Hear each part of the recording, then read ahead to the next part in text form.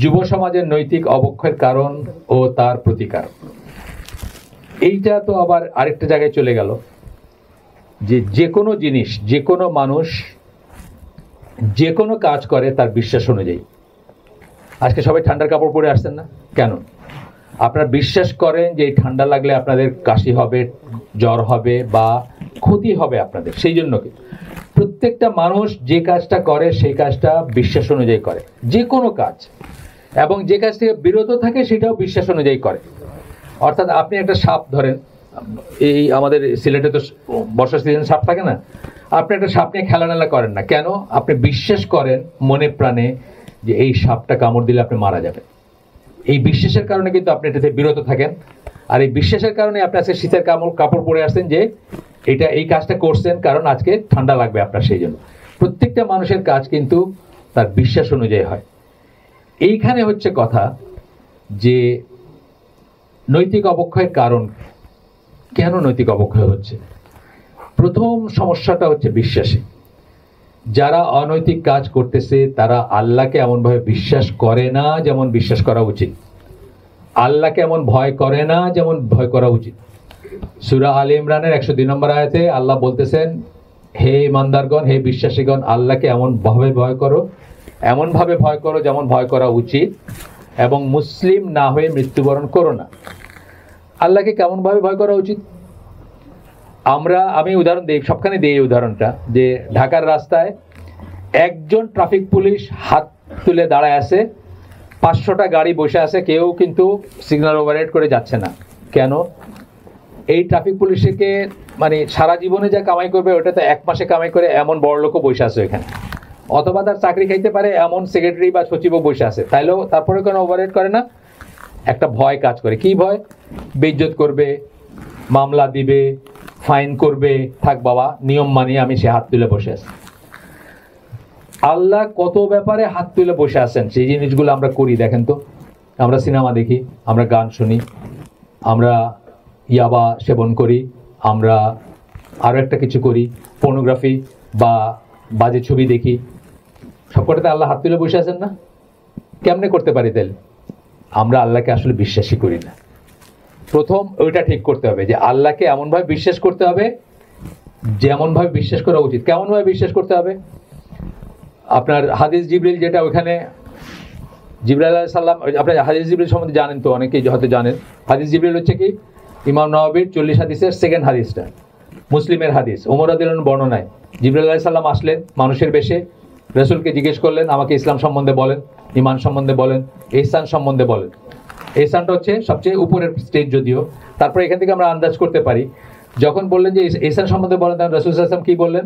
এহসান হচ্ছে তুমি এমনভাবে ইবাদত করো যেন তুমি আল্লাহকে দেখতেছো। আর তুমি যদি না দেখো, তাহলে জানো যে আল্লাহ তোমাকে দেখতেছেন। এখন আপনি এটা বুঝেন নাই, আপনি যখন ছোট থেকে বড় হয়েছেন, যেদিন আব্বা আপনারা দেখতেছে তাকে পড়তেছেন কিনা, আপনি কীভাবে পড়ছেন? আর যেদিন বাসায় আব্বাও নাই, আম্মাও নাই, আপনি কীভাবে পড়ছেন, আপনি বুঝেন না? তাহলে আব্বা যে আপনারা দেখতেছেন, এইটুকুর জন্য কিন্তু আপনার উপর একটা এফেক্ট আসছে। সুতরাং আল্লাহ আপনাকে দেখতেছেন, শুনতেছেন, আপনার ভিতরে কি প্ল্যান করতেছেন, শয়তানি করতেছেন, এটা জানে আল্লাহ। একটা ঘর বন্ধ করে আপনি মোবাইলে একটা খারাপ ছবি দেখতেছেন, এইটা আল্লাহ জানেন। দেখবেন প্ল্যান করতেছেন, আজকে এটা আল্লাহ জানেন। এই সমস্ত কিছু নিয়ে যদি বিশ্বাস করতেন, তাইলে আপনার অবক্ষয় হইতো না।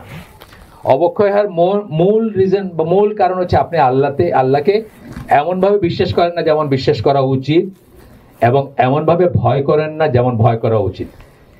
কি করে তাহলে, কি করবেন তাহলে? এখানে হচ্ছে যে আল্লাহকে নিয়ে একটু চিন্তা ভাবনা করবেন। আল্লাহকে নিয়ে একটু পড়াশোনা করবেন। এই যে মহাবিশ্বের সব কিছু বা আপনার নিজের কথা আমি বলতেছি, আপনি কি এমনি এমনি হয়ে গেছেন? আপনি একটু চিন্তা করবেন যে এই যে আমাদের আমি এটা এটা ইটসেলফ একটা আরেকটা আরেকটা আলোচনার বিষয়। কিন্তু আপনার নিজের শরীরের দিকে আপনি তাকায় দেখেন। আপনার নিজের শরীরের দিকে আপনি তাকায় দেখেন। আপনার, আপনাকে আমরা বলি কি আল্লাহ খালিক। না, খালিক মানে কি? ফ্যাশনার যিনি বানান ফ্যাশন করেন ডিজাইন করেন যিনি। আপনার আপনার হাতে পাঁচটা আঙ্গুল দিচ্ছেন আল্লাহ। আপনি শুধু এই আঙ্গুলটা স্কচ টেপ দিয়ে লাগাই দেন এখন। আপনি কিন্তু আপনার চেক সিগনেচার করতে পারবেন না, জামার বুতান লাগাইতে পারবেন না। এই যে ডিজাইনটা, এটা কি এমনি এমনি হয়েছে? এটা কি এমনি অ্যাক্সিডেন্টলি হয়ে গেছে? অ্যাক্সিডেন্টলি হয় নাই। এইভাবে আপনি চিন্তা করবেন। আপনার নিজেকে নিয়ে চিন্তা করবেন, আপনার পরিবেশ, প্রতিবেশ নিয়ে চিন্তা করবেন, সৃষ্টি জগতের দিকে তাকাবেন। আল্লাহ কোরআনে বলছেন, সৃষ্টি জগতের দিকে তাকাইতে সৃষ্টির আকাশসমূহ, পৃথিবীর সৃষ্টির দিকে তাকাবেন, রাত এবং দিনের অল্টারেশনের দিকে তাকাবেন, তাহলে আস্তে আস্তে আপনার আল্লাহ বিশ্বাসটা সলিড হবে বা আপনার যদি কোনো সন্দেহ থাকে, এটা দূর করবেন। সন্দেহ দূর করার একমাত্র উপায় হচ্ছে আপনার ই করা। কি বলে? জ্ঞান অর্জন করা। জ্ঞান অর্জন হচ্ছে সন্দেহের একমাত্র ঔষধ। পড়াশোনা করবেন এবং যখন বুঝবেন যে আল্লাহ আসেন আল্লাহ আপনাকে দেখেন, আল্লাহ আপনাকে শোনেন, আল্লাহর যে সিফাতগুলো আছে, যে বৈশিষ্ট্যগুলো আছে, এগুলো যখন আপনি পড়াশোনা করবেন, আপনি ওই সিসি ক্যামেরার মতো আপনি ফিল করবেন যে আল্লাহর সার্বক্ষণিক দৃষ্টির সামনে আপনি আসেন এবং তখন আপনাকে কোনো নিরাময় সেন্টারে নিতে হবে না, কোনো মুরব্বী, কোনো পুলিশ কিছুতে না, আপনি অটোমেটিক্যালি আল্লাহর নিষিদ্ধ জিনিসগুলো ত্যাগ করে মানে ত্যাগ করবেন। পশ্চিমা জগতে যেটা হয়, যে তারা ততক্ষণ পর্যন্ত আল্লাহ বিশ্বাস করে, বা কি বলে, আল্লাহ বলতেছে সরি মাফ করবেন, ততক্ষণ পর্যন্ত তাদের মোরালিটি বা ততক্ষণ পর্যন্ত তারা আইন মানে যতক্ষণ তারা ধরা পড়ার ভয় থাকে। আমার একটা এক্সপিরিয়েন্স আমি অনেকের সাথে শেয়ার করছি। আমি যখন ইংল্যান্ডে পড়াশোনা করতাম একটা ছোট্ট শহরে, অনেক আগের কথা। তো ওই শহরে কিং স্ট্রিট বলে একটা আছে ওখানে দুই মাথায় দুইটা দুইটা দুইটা করে চারটা ইয়ে আছে টেলিফোন বুথ আছে আর কি। তো তখনকার দিনের এক এক এক পাউন্ডের কয়েন ঢুকায় আমরা বাসায় কথা বলতাম। তো একদিন দেখি যে একটা বুথ একদম খালি আর একটা বুথে লম্বা লাইন তা আমি জিজ্ঞেস করছি ওদেরই একজনকে, বিদেশি মানে সাথে চামড়া একজনকে যে, ভাই, এটা এটা মানে ভাই বলতে জাস্ট মুখে ভাই আসলো, আমি তার ভাই বলি নাই মানে তাকে যা সম্বোধন করেন সেটা করছি। যে এই বুটটা খালি কেন? এটা কি নষ্ট নাকি? আর ওই বুটটাতে এত লম্বা লাইন কেন? বলে না এটাও ভালো ওইটাও ভালো। আমি বলি, তাহলে ওইটাতে এত লম্বা লাইন কেন? যে ওইখানে টেলিফোনটার ওই রিসিভারটা রাইখা দিলে ওই ক্রেডেলে রাইখা দিলে নিচেতে পয়সাগুলো বাইরে হয়ে আসে। সাদা চামড়া কিন্তু লাইনে সব। তারা মনে করতেছে আমার তো কোনো দোষ নাই। আমি তো মেশিন ভাঙি নাই। পয়সা আসতে তো আমি কি করব? কোটির পকেটে নিয়ে হাঁটা দিচ্ছে বুঝছেন না? ওইখানে একজন মুসলিম হলে কি করতো? সে আরও একটা কয়েন খরচ করে ওই কোম্পানিকে ফোন করে বলতো যে, তোমার মেশিনটা নষ্ট, তুমি তাড়াতাড়ি মানুষ পাঠাও। আমি পয়সা দিয়ে গেছি, কিন্তু পয়সা বাইরে আসে আপনারা সৌদি আরবের কথা যারা আগে শুনছেন, যারা আগের দিনে সৌদি আরবে গেছেন, আমরা গিয়ে নষ্ট করার আগে, আমাদের মতো বাঙালি বা পাকিস্তানের গিয়ে নষ্ট করার আগে, আপনার গাড়িতে ধাক্কা লাগাই দিছে এক লোক। সে হাতে লেখা মার্কারের লেখা, ওইখানে আপনার ই করে রাখছেন, ফোন নাম্বার দিয়ে রাখছে যে, ভাই, তোমার গাড়িটা আমি ধাক্কা মারছি। এটার যত খরচ লাগে, ঠিক করতে আমি দিব। আমার নাম্বার এটা, আমার ওয়ার্কশপে এখানে আছে, তুমি ওখানে গিয়ে ঠিক করে নি। এটা হচ্ছে কি? মানে কেউ দেখতেছে না। কেউ যখন দেখতেছে না, তখন কে দেখতেছেন আল্লাহ দেখতেছেন এইভাবে যদি আল্লাহকে বিশ্বাস করতে পারতাম আমরা, তাহলে নৈতিক অবক্ষয় আমাদের হইতে না। নৈতিক অবক্ষয়ের প্রথম কারণ হচ্ছে আল্লাহ যে আমাদেরকে দেখেন, শোনেন, অন্ধকার রাতে অন্ধকার রাতে কালো পাথরের নিচে একটা পিঁপড়া যখন মুভ করে কালো পিঁপড়া, সেটাও যে আল্লাহ জানেন, এই বিশ্বাসটা আমাদের ভিতর নাই। বা এইভাবে আমরা আল্লাহকে অনুভব করি না। আল্লাহকে বিশ্বাস করি না। সেই জন্য কিন্তু আমরা এই অবক্ষয়গুলাতে পা দেই। এখন একটা ব্যাপার আছে যে অবক্ষয়ের অনেক আগের একটা কথা আমার মনে পড়ে। এক দিনী ভাই ছিলেন, ওনার একটা দিনী প্রোগ্রামে আমি গেছি। আমার কিছু লেখালেখি আছে, কিছু বই নিতে বলছেন, নিয়ে গেছি। তো পয়সাটা, কি বলে বইগুলো একটা পিয়ন শ্রেণির একজন মানুষের কাছে দিছি। আর তাকে বলছি যে, তুমি পয়সাটা কালেক্ট করে তোমার কাছে রেখে দিও। তো কয়েকদিন পরে ভাই আমাকে জিজ্ঞেস করছেন আপনার বই তো বিক্রি হয়েছে পয়সাগুলো নিয়েছেন আমি বলি, না, ওর কাছে আছে। বলি, না, এটা তো ঠিক করেন নাই পয়সাগুলো নিয়ে নেন। কেন বলছেন উনি বলতেছেন যে, ইসলাম বা ইসলামের সমাজে অন্যায় করার স্কোপটাই থাকবে না। উনি বলতেছেন যে, আপনি যে পয়সাটা ওর কাছে রাখলেন, ও তো একটা গরিব মানুষ, অভাবী মানুষ। ওর একটা কারণে ও পয়সাটা ভেঙে ফেলতে পারে। এই স্কোপটাই তাকে দেওয়া উচিত না। আপনি কিন্তু তাকে করাপ্ট করলেন। আমি আসলে জিনিসটা তখন খুব ভালো বুঝি নাই। কিন্তু পরে যখন আমি দেখলাম পড়ে যে চুরির বিধান যখন আসে, আপনার বাসায় একজন শীত কেটে বা দরজার তালা ভেঙে ঢুকে আপনার আলমারি থেকে আপনার গয়না বা টাকা চুরি করল, এইটার যে বিধান, আর আপনি আপনার টেবিলের উপরে আপনার মানে নোট দিয়ে ভর্তি মানিব্যাগ রেখে দিয়েছেন ঘরে একটা কাজের মানুষ আছে, সে আসতেছে, যাইতেছে, ঢুকতেছে, বাইরেতেছে, সে যদি ওখান থেকে একটা নোট নেয়, এটার বিধান কিন্তু আলাদা। কারণ আপনি তাকে সুযোগ করে দিছেন যে সে যেন এটা থেকে নিতে পারে। আপনি এনাফ সিকিউর করেন নাই। তো আমাদের সমাজের ব্যাপারটাও সেরকম। সামাজিক অবক্ষয়ের একটা কারণ তো বললাম, আল্লাহ সেভাবে বিশ্বাস করি না আমরা।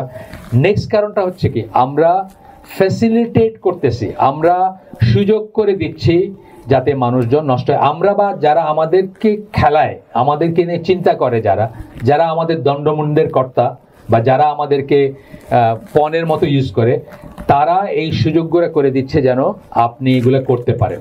একটা উদাহরণ দিচ্ছি আমি। বাংলাদেশে ফেন্সিডেল কিন্তু একটা জাতীয় সমস্যা, জানেন তো আপনারা। ফেন্সিডেল ই করলে কি হয়? কিডনি নষ্ট হয়ে যায়। কিডনি নষ্ট হলে মানুষ কি হবে? একটা তিরিশ বছরের তাগড়া যুবক দেখবেন এরকম করে হাঁটতেছে। সে আর কোনো কাজ করতে পারে না। বিয়ে শাদিও নাই, কাজও নাই। সারাদিন খালি ওটার ধান্দা যে কি করে চুরি করে হোক, রক্ত বেচা হোক, ওই নেশা করবে বা ই করবে। ফেন্সিডেল একটা বললাম জাস্ট মাথায় আসলো। ইয়াবা কই থেকে আসে? পার্শ্ববর্তী দেশ থেকে আসে। ফেন্সিডেল আরেকটা পার্শ্ববর্তী দেশ থেকে আসে। সেই দেশের কয়েকশো ফ্যাক্টরি আছে অ্যারাউন্ড দ্য বর্ডার এই ফেন্সিডেল বানানোর জন্য। এক ফোঁটা ফেন্সিডেল সেই দেশের মানুষ খায় না কিন্তু। সব আসে আমাদের মানুষজনের জন্য, তাই না?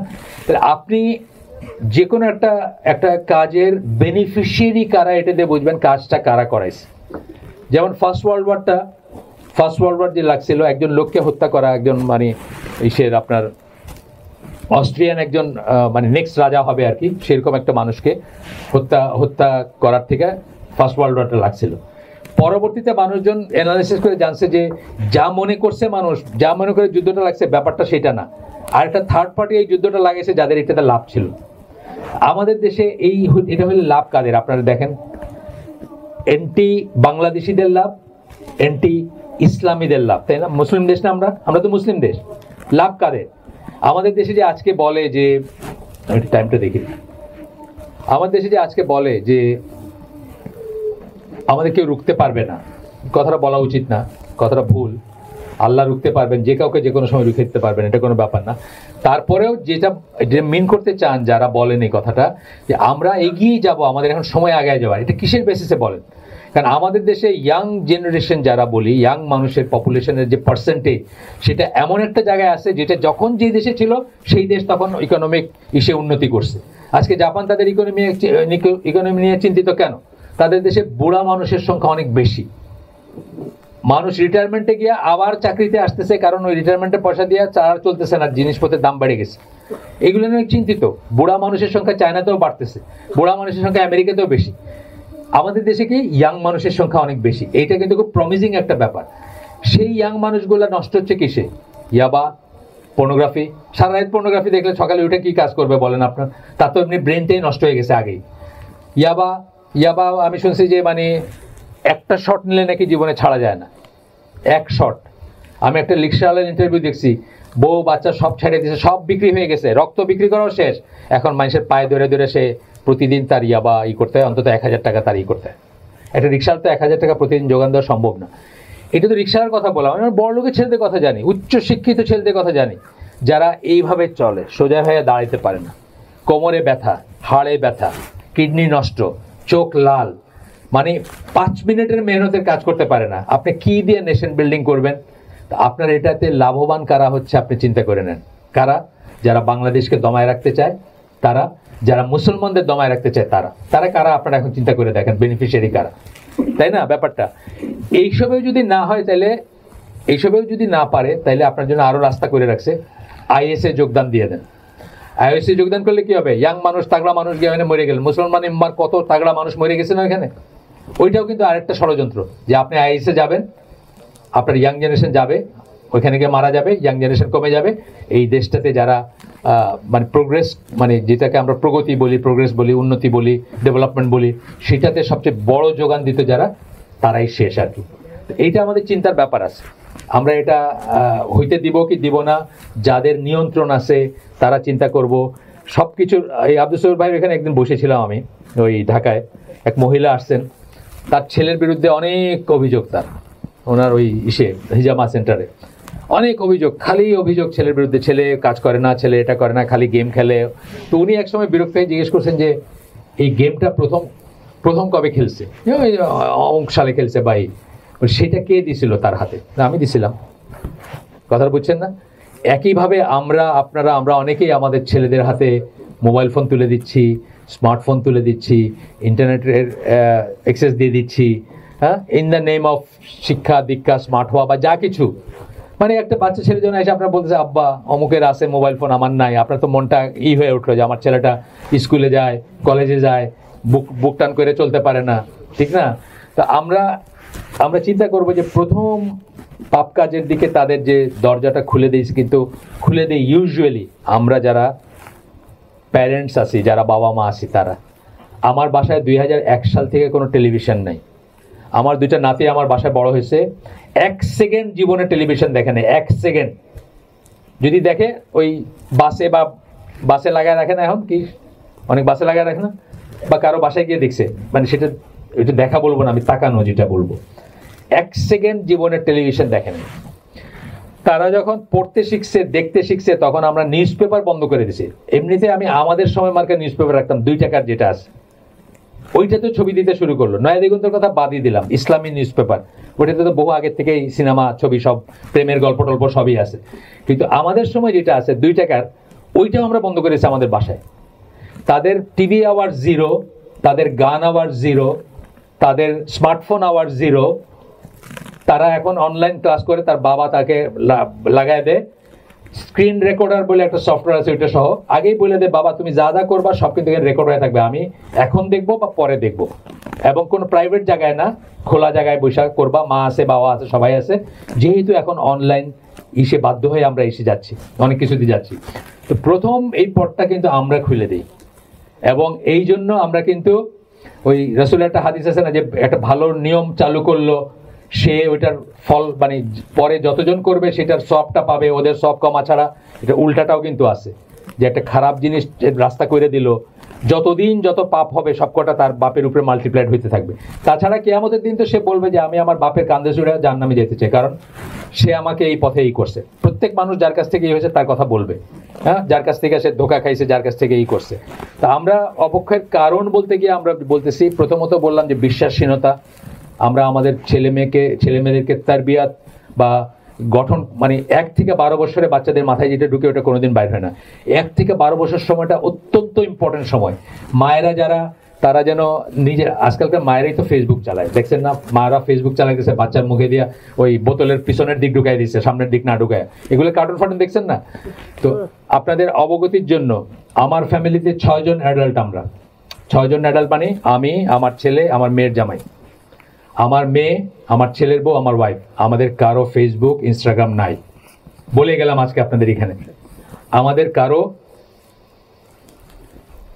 আমাদের কারও ফেসবুক ইনস্টাগ্রাম নাই। ছয়জন অ্যাডাল্ট আমরা। এদের ভিতরে অ্যাডাল্টের ভিতর বলতেছি, আমার ফ্যামিলিতে অ্যাডাল্ট এবং ছোট মেলায় চারজন হাফেজ হাফেজা আছেন। দুই সাইড মিলায়।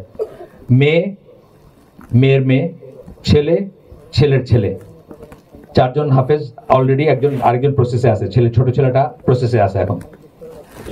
আপনারা শহীদুল খান মাদানির একটা এই শুনতেছিলাম। আমি একবার হজে গেলাম, তখন ওনাকে বললাম যে, আমার অনুপস্থিতিতে উনি যেন দুটা প্রোগ্রাম করেন। তো উনি প্রোগ্রাম করলেন, একটা হলো ছেলে মেয়ের উপর বাবা মার হক, একটা হলো বাবা মার উপর ছেলে মেয়ের হক। দুইটা প্রোগ্রাম করলেন। দুই সপ্তাহে করলেন। তো যেটা ছেলে মেয়ের হক বলতেছেন, সেটা এখানে বললেন যে, অনাগত সন্তান মানে আপনি বিয়ে করেন না এখনও। আপনার যে সন্তান বিয়ে করার পরে আসবে, তার হক আপনার উপর হচ্ছে, আপনি তার জন্য এমন একজন মা চুজ করবেন যে তাকে আল্লাহর মতো করে বড় করবে। আমি তো এখন একটা কন্ডিশন করে দিতে চাই যে ইসলামী বিয়েতে আমার, আমি, আমরা বিয়ে সাথে কাজ করি। ইয়াং ছেলেদের, মেয়েদের বিয়ে সাথে কাজ করি এবং আল্লাহর জন্য করি। আমি তো, আমি কন্ডিশন করে দিতে চাই যে ফেসবুক ইউজ করে কোনো মানুষের বিয়ের। ফেসবুক ইউজ করে ছেলে বা মেয়ে, তাদের বিয়ে আমি ঘটকালি করব না।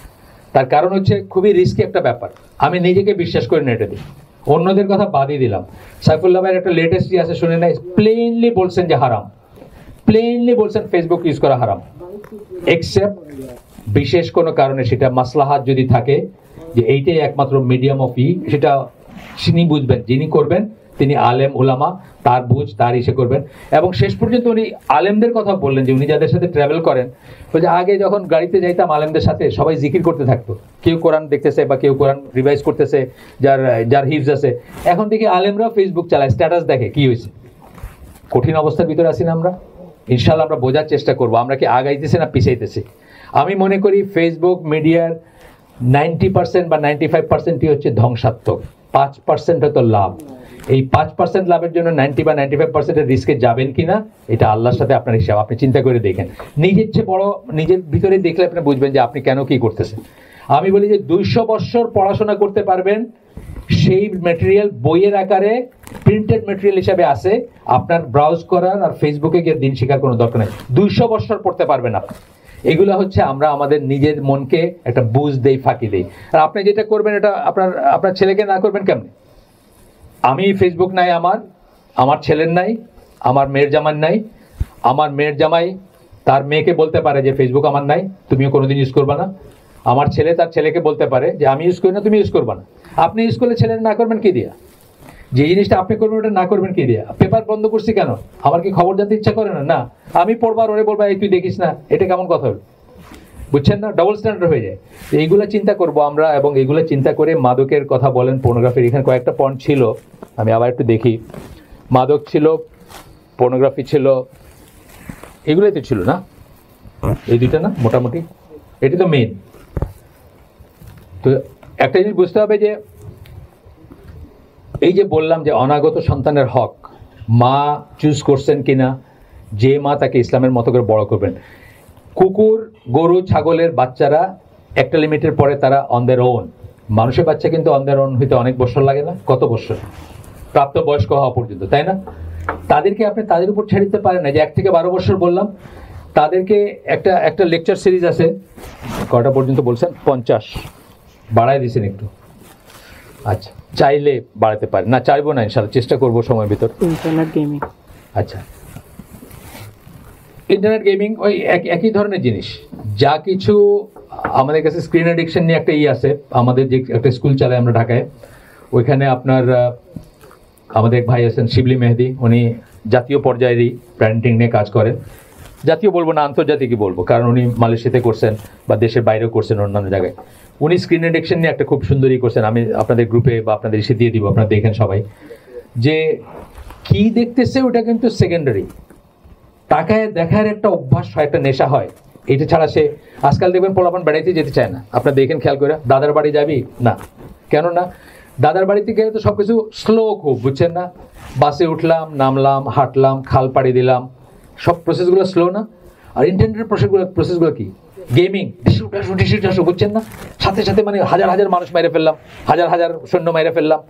এই যে নেশাটা, এটা কি করে? মানে হরমোন হ্রাস হয় মানে উত্তেজনা হয় ভিতরে, বুঝছেন না? এই উত্তেজনা তো দাদার বাড়ি যাওয়াতে নাই।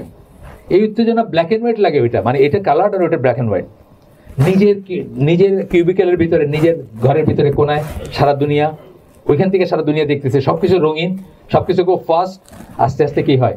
মানুষের সাথে মিশে ছেড়ে দেয় আত্মীয় স্বজনের সাথে মিশে ছেড়ে দেয়, সামাজিকতা ছেড়ে দেয়, এবং নেট জম্বি বলি আমরা, বা জাঙ্কি বলি আমরা, ওইটার ভিতরে সে সমস্ত জীবন তার এই। এবং এই যে বললেন, আব্দুল সরু ভাই যার কথা বললেন যে ছেলে কোনো কাজ কাম করে না। দামড়া ছেলে, ছোট ছেলে না, দামড়া ছেলে, সে কাজ কাম করে না, খালি গেম খেলে। কেন? গেমটা প্রথম কে তুলে দিয়েছিল? সেই বাবা মা তুলে দিয়েছিল হাতে। তো এগুলো চিন্তা করবেন ইনশাল্লাহ এগুলা মানে এগুলোর দায় দায়িত্ব আমাদেরকে নিতে হবে। বড় হওয়া ব্যাপারে, বাচ্চা কাচ্চা বড় করার ব্যাপারে আরেকটা জিনিস বলব আমি, যে তাদেরকে সময় দিতে হবে। তাদেরকে দয়া করে ট্যাব, মোবাইল ফোন টেলিভিশন, এগুলো ঘুষ দিয়েন না। তাদেরকে সময় দিতে হবে। তাদের সবচেয়ে বড় দরকার হচ্ছে আপনার সময়। একটা ই আছে how to how to build up an Islamic household একটা একটা ই আছে লেকচার সিরিজ আছে। আমার স্কোপ নাই, নাহলে আমি আপনাদের সাথে হয়তো শেয়ার করতাম বাট আমি অন্যদেরকে দিয়ে দিব। সেখানে কি আপনার ঘরটাকে আপনি ইসলামাইজ করবেন? ঘরটাকে ইসলামাইজ করা মানে কি? আপনি শুরু করবেন কি দিয়ে? ইসলামিক টার্মিনোলজি যেগুলো বলি। সুবহান আল্লাহ আলহামদুলিল্লাহ, আল্লাহ আকবর। হ্যাঁ জিসাস বা ওয়াও বা থ্যাংক ইউ এগুলার পরিবর্তে কি আসবে? ইসলামী টার্মগুলো আসবে। জেজাকাল্লাহ খায়রান। হ্যাঁ নামাজের জায়গায় সালাত আসবে। রোজার জায়গায় সিয়াম আসবে। এরকম আপনি ইসলামিক টার্মিনোলজি চালু করবেন। শুরু বলতেছি আমি। তারপরে যে সালাম বললাম। সালাম শুধু ছেলে বাপকে দিবে এমন কথা নেই বাপও ছেলেকে দিবে। ঠিক না কথাটা? আমার মনে আছে আমরা যখন কলেজে চড়ি, কক্সবাজারে কলেজে পড়ি, তখন কক্সবাজারে আমাদের, আমার এক ফ্রেন্ডের বাড়ি ছিল। তো সে যা- তার এক চাচা, তার দুটা বাচ্চা মাদ্রাসায় পড়তো। আগের থেকেই সে হাসাহাসি করতেছে। আমরা যখন যাচ্ছি, তখন বলতেছে যে দেখিস ওখানে গেলে একটা মজা দেখবি। কি? যে ছেলেরা মাদ্রাসা থেকে আসে, আইসা বাপরে সালাম করে। আর বাপ তাদের সাথে মুসাফা করে। আপনি জি বলে কথা বলে বাপ ও সালামের উত্তর দেয়। এটা একটা হাসাহাসির ব্যাপার ছিল। আর মুসলিমকে এটা হাসাহাসি করতে পারে? পারে না। আপনি এইভাবে বড় করবেন ইসলামাইজ করা যেতে গেলে প্রত্যেকটা জিনিসে আপনি চিন্তা, খেয়াল করবেন, ইসলাম কি বলছে, আল্লাহ কি বলছে, আল্লাহ কি চাইছেন, রসুল কি চাইছেন। গল্প, ইসলামী গল্প আছে, সাহাবিদের গল্প, রসুলের সিরা, সাহাবিদের গল্প তাবেইদের গল্প। কত আছে, কোনো ই নাই, নবীদের গল্প, পয়গম্বরের গল্প আপনি করবেন, কোরআনিক গল্পগুলো আপনি করবেন। কষ্ট করবেন হ্যাঁ তার জন্য তার জন্য জিনিসকে মনে করেন না যে সুখ। একটা মোবাইল ফোন, একটা স্মার্টফোন, একটা ট্যাব, একটা টেলিভিশন, এগুলো সুখ না কিন্তু, এগুলো তার জাহান নামের রাস্তা তৈরি করে দিবে। আমরা অনেক সময় বলি যে আপনারা যখন মানে ছোট একটা বাচ্চা যখন বড় হয়, তার বাবা মা ছোট একটা সরি একটা ফোন আসছে, মাফ করবেন। ছোট একটা বাচ্চা যখন বড় হয়, তার বাবা মা কি করেন? তাকে, ধরেন একটা উদাহরণ দিচ্ছি, আপনাকে আমি একটা সুইজারল্যান্ডের চকলেট দিলাম, সুইস চকলেট, দামি চকলেট। আপনি কি করবেন? ওটা না খেয়ে আপনার বাচ্চার জন্য রেখে দিবেন। অনেক আমি আমরা তাই করি না। আমাদের ইচ্ছে আমাদের বাচ্চাদের আমরা বেশি ভালোবাসি এই সেন্সে রেখে দিলাম যে আমার মেয়েটা খাবে বা আমার ছেলেটা খাবে। আউট অফ কি? আউট অফ লাভ স্নেহ, মমতা, ভালোবাসা। এই বাচ্চাটার নরম হাতটা আপনি গালে লাগায় আপনার খুব ভালো লাগে। সফট হাতটা দেব। আপনি এর জন্য দুনিয়া অনেক কিছু করতে পারেন। সুদী ব্যাংকে ফিক্সড ডিপোজিট রাখতে পারেন, ঘুষ খাইতে পারেন। শুধু তাকে তাকে সুখ দেওয়ার জন্য, তাকে ভালোবাসা প্রকাশ করার জন্য। কিন্তু আপনি সবচেয়ে আসল জায়গাটাই তাকে ভালোবাসেন না।